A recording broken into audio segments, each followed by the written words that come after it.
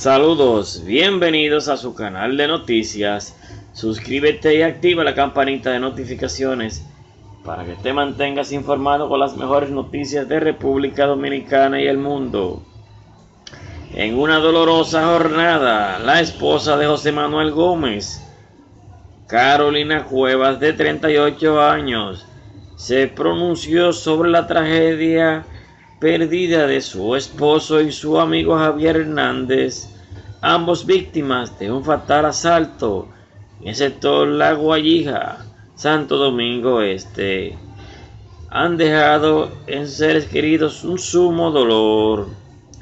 José Manuel, de 38 años de edad, deja atrás de sí un legado de amor y responsabilidad hacia su familia compuesta por cinco hijos, incluyendo una bebé de apenas dos meses.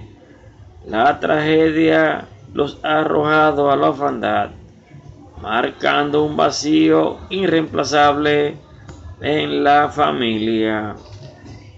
Con lágrimas en los ojos, Carolina Cuevas, visiblemente afectada, demandó justicia ante las autoridades, exigió el apresamiento y procesamiento los supuestos asaltantes responsables de este crimen atroz que ha conmocionado a la sociedad. Detalló que en el fatídico momento de atraco, José Manuel y sus amigos Javier de Jesús disponían a buscar un vehículo como parte de su labor diaria. Ambos circulaban en una pasola cuando fueron abordados por los criminales.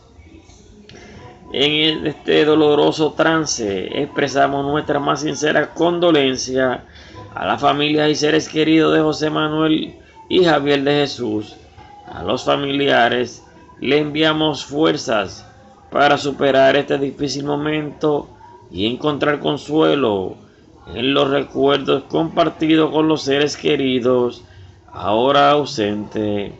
La comunidad se une en el pesar ante esta pérdida irreparable. ¿Qué opina usted sobre esta noticia? Déjemelo saber en la caja de comentarios, porque su opinión cuenta.